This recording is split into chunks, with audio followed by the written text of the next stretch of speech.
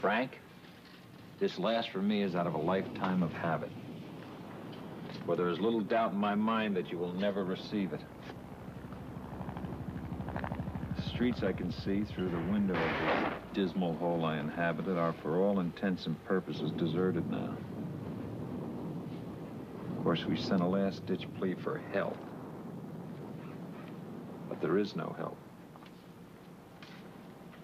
Even if there were, it would be too far off to do us any good.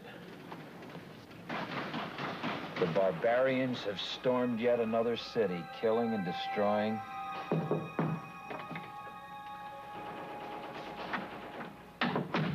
The message was uh, intercepted. The guy was killed about four blocks away, so uh, we've had it. Man, it's chaos out there. Nobody knows who's in charge. No one's in charge. I mean, the guys are deserting right and left. You blame them? They're scared to death.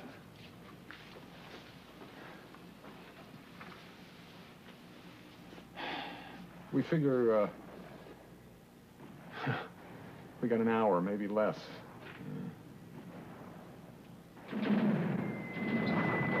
So, uh, the five of us will be down in my room, and uh, we got a bottle, couple of toasts to the old days, and uh, families and friends. Look, man, it's a bad time to be alone, you know? It's ugly, Royce. Story of my life.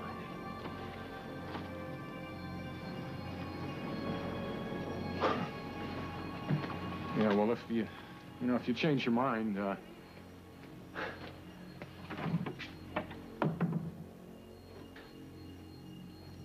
You're the best reporter I ever worked with, man.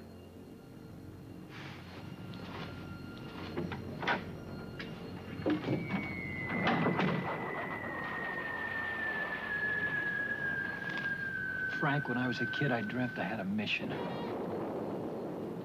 A private vision of a better world. There was no God, that was obvious. Reason would have to serve. Reason would prevail. My reason. What a laugh. What love have I generated? Whom have I benefited? I leave this world the shambles I found it. What puzzles me, though, Frank, is that through all the stupidity, the bombs, the mobs, the killings, all of it, I'm still here. I'm still alive. What do you think, Frank? Could it have been some great cosmic joke to show me what an ass I've been? No answers. I'm at the end of the line, Frank, and there are no answers.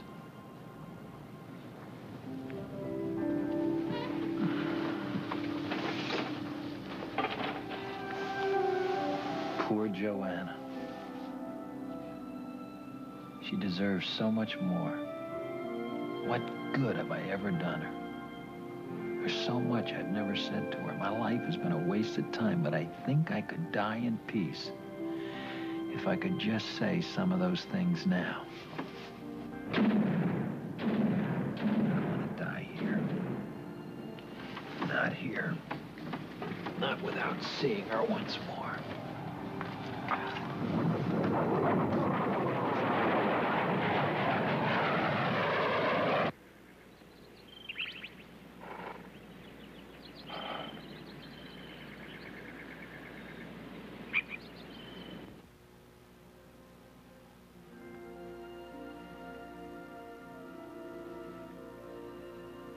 Real. A trick of the mind.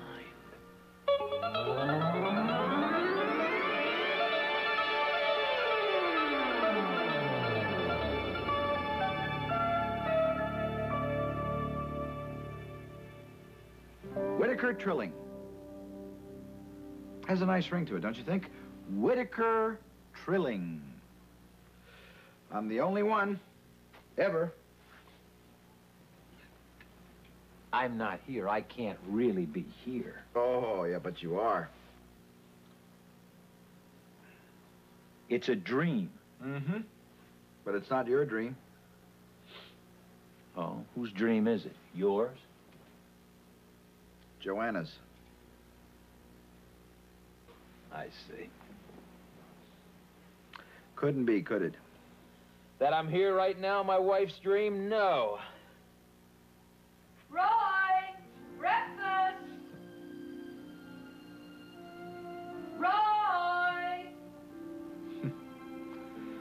She's dreaming she's cooking you breakfast. She's dreaming it? Mm-hmm. You're telling me that she's asleep? That's right. It's only 6.30. Well, where's she sleeping? Oh, uh, in your study. She sleeps there a lot. When you're not here, it's all she's got. If only I could come up with this madness. This is my dream. No, no, you're not asleep. I'm 5,000 miles away from here in a hotel room asleep. No, you're here. You mean to tell me that if someone were to go into that hotel room, I'd be gone? Absolutely. But no one will go into your hotel room. Nobody can. Why not? Because time has stopped for you. Which is very fortunate because you have very little time left. I mean, the war stopped. Bullets in mid-flight.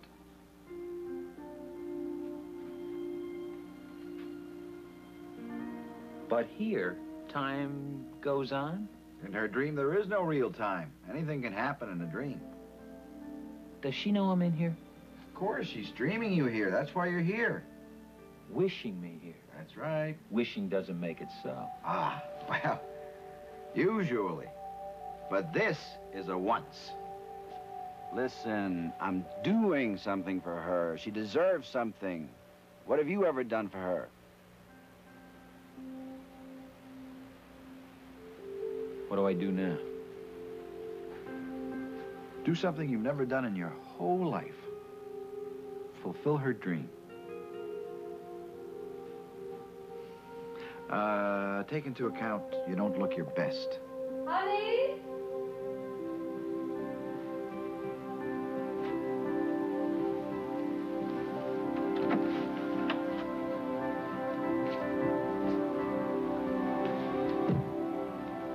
You know, I never thought I'd ever see this house again. This will be the last time.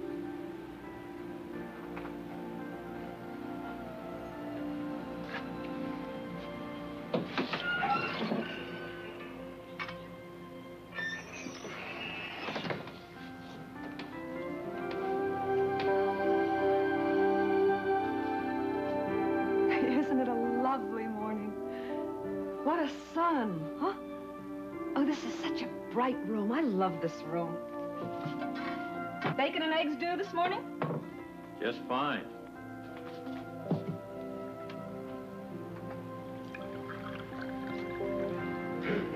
Don't let it get cold. Just sit, sit, sit. It's been so long since you've touched her, she doesn't dream much of it anymore. No sense making her uncomfortable. Bacon. Bet they didn't have any of that in the jungle, huh? Jungle? You've been in several. Just go with it, man.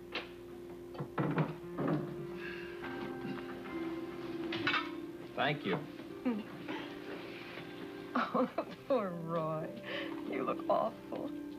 You need a shave. oh, how gray your hair has gotten. Little streaks of silver. I've gotten older. Yes, you have. I saw it the last time. It frightened me. Every time you come home a little older. What would I do if there was no more you. Don't be frightened, Joe. I love you. Isn't that funny? I can't feel your touch. And I, I want to. I, I try to remember, but I just can't. I can't remember. I remember your face. Oh, I always remember your face. Especially your eyes. But your touch, I just.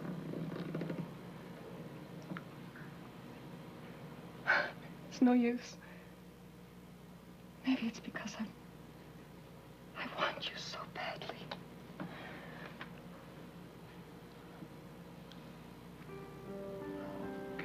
there's so little time. Please let her feel. What do you want? Miracles? What do you mean, so little time? You're not going away again. Oh, no, no, not again. Same dream over and over. No, I'm not going away again. I promise I won't go away again. No, no, no, no. No, don't promise. No, that's the kiss of death. No, don't, don't promise me you won't go away. Promise me you won't promise me. He's got to, Joe. Believe me, I wouldn't send him if it weren't absolutely necessary. But he's the only one who knows the area. He's not going. Joe. He promised me. Why is Kinsey here? It's her dream. Tell him, Roy. Tell your editor that you're not going. Go ahead, Roy. Tell him you're not going. Roy? Listen, Frank, I'm not going. You've got to go. Joe, he knows these muckamucks. He talks their language. He gets in to see them when nobody else can. He knows where the bodies are buried.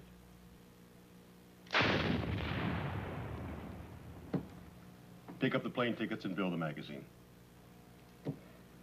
I'm sorry, Joe. I'm not going, Frank.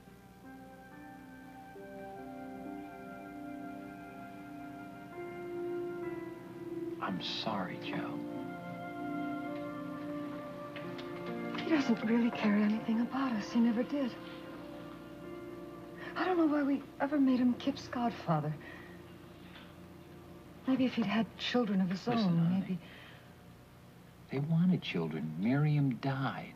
I don't want to talk about it. It's not fair for you to think that. I don't want to talk about death. Where will we put it, ma'am?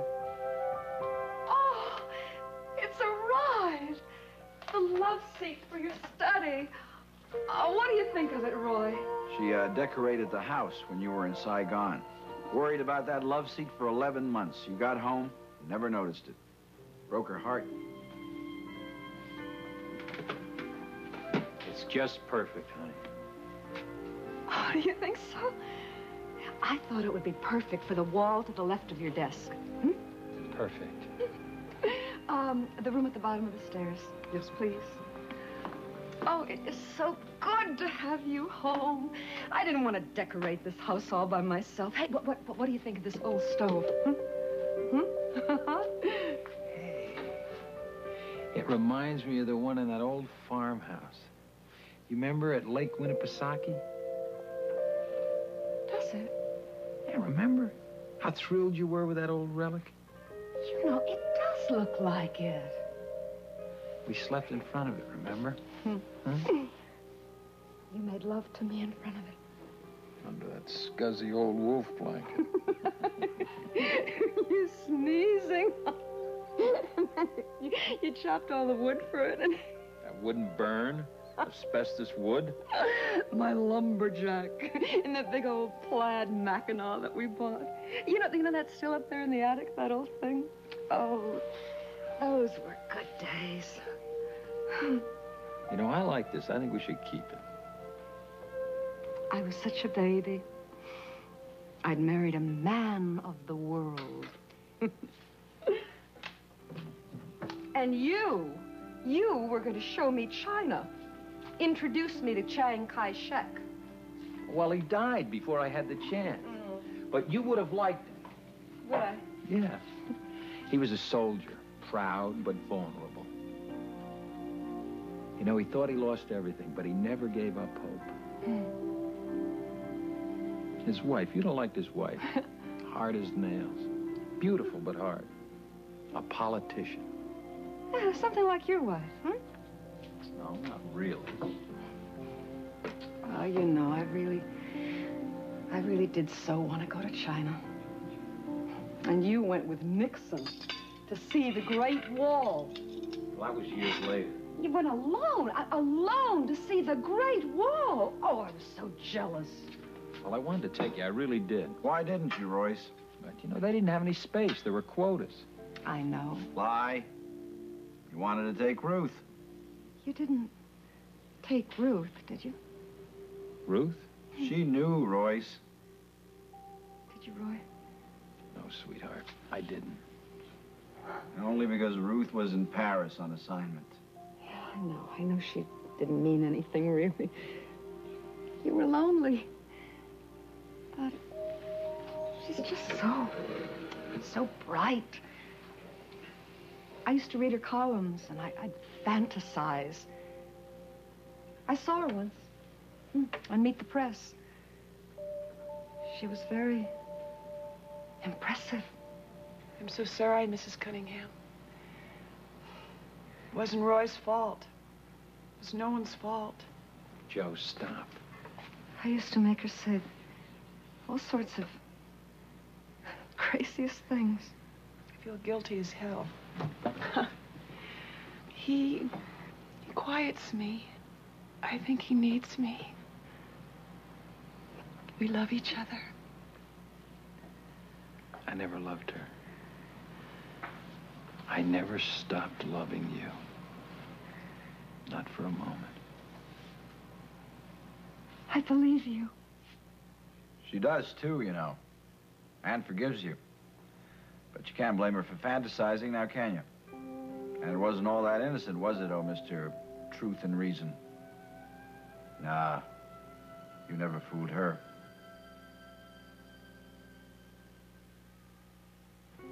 Mom, what time is it? Kip? Yes.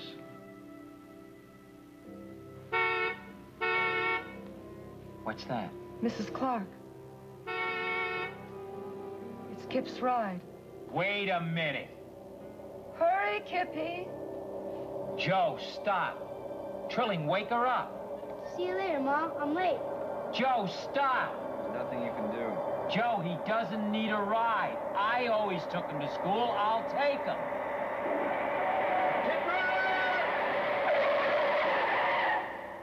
You were in London waiting for an airplane. She begged you to stay. You might have that time. Kinsey could have sent someone else.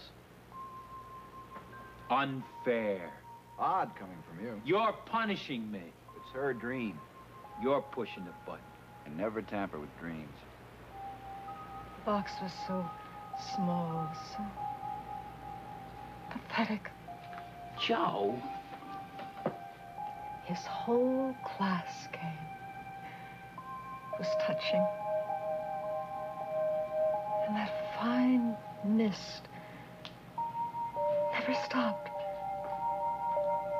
I told myself that you were sending your tears from a very long distance. We've already been through this once. Oh? You've only been through it once. Oh, Roy, I know how much you loved him. And oh, how he idolized you. Oh, his famous father. You were the great world that he'd grow up to see. Okay, I didn't have to go. Kinsey could have sent someone else, but I thought... She knew, Royce. She always knew. It wasn't your fault. Wasn't it? Look, I've been hanging around here for six months. I was beginning to get antsy. And Kinsey called and made that offer. I knew you'd spoken to him, pleaded with him. But I didn't want to be an editor. I know I told you I did, but I'm a reporter. I am no editor. And that business happened with the Shah, and I ran and left you alone. All right. You wanted to go and you needed to go. I knew, I knew that. I knew at the minute we, we, we heard that he'd left with his family, and, and we saw how sick he looked. And they were rioting. I, I watched you, glued to the set. He could have sent someone else. Well, probably. But I knew in your mind you had to go. That it was your story. And it was. It was your story. Joe, don't protect me. Protect you? I'd give my life for you. If you'd ever have needed it. Yeah, that's what always killed me. You've never really needed it. Needed it, your life? I couldn't go on without it. Oh, no. That is a very dear lie that you've always told me. And always told yourself. You are my only reason for living. Listen, listen. Now, we're both getting older. It is time we face the truth with each other. Your work is your reason for living. You said it. You're a reporter. And the best. The best. I mean, you, you tell what's happened, know and understand. I've never been emotionally involved with any of it. Well, you're not an emotional man. That's not true! Oh, yes, it is. I mean, you've never been emotionally involved with anything. Or anyone. More's the pity. Oh, look, I would have wanted it otherwise, of course. Mean, of course I would. Joe. And I had to read about your life with all those strangers. But, but, I married a reporter. I knew it in front. An observer of life who has seen the truth and stated it plain. That's what made you such a success. A success? Do you doubt that? Oh, darling, there's only one of you. For years, you've been the eyes of everyone who's afraid to see. You've, you've been a light in the darkness. Do you believe that? Believe, I know it. I know it with this, with this life that I've lived. Waiting for you. Dreaming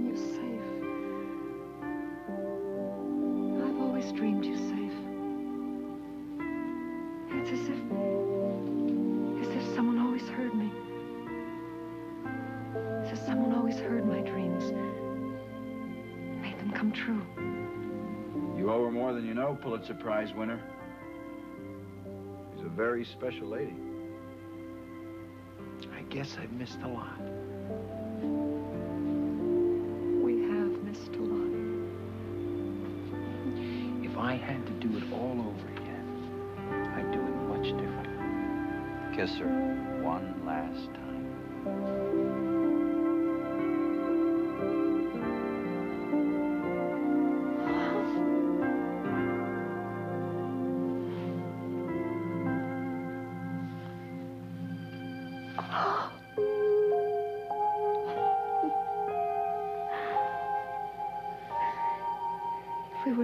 We were ever to have a last kiss,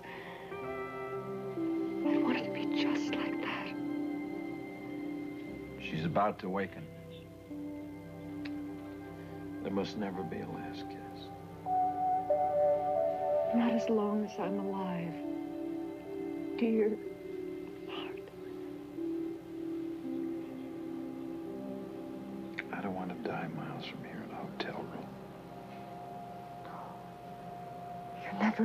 never further away from me than right this moment. Please? It's a dream. The dream is almost over. You know, you know what you haven't done for me in a long, long time. What's that? Write me a love letter.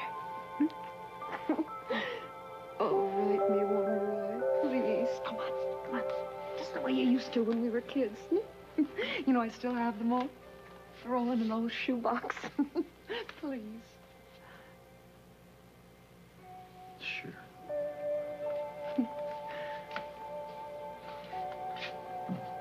Can I bring you another cup of coffee? Please.